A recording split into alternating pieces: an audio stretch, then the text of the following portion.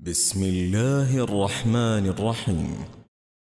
شهر رمضان الذي أنزل فيه القرآن هدى للناس وبينات من الهدى والفرقان.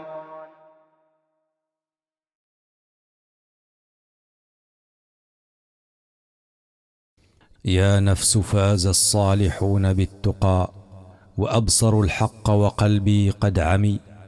يا حسنهم والليل قد أجنهم ونورهم يفوق نور الأنجم ترنموا بالذكر في ليلهم فعيشهم قد طاب بالترنم قلوبهم للذكر قد تفرغت دموعهم كلؤلؤ منتظم أسحارهم بنورهم قد أشرقت وخلع الغفران خير القسم قد حفظوا صيامهم من لغوهم وخشعوا في الليل في ذكرهم.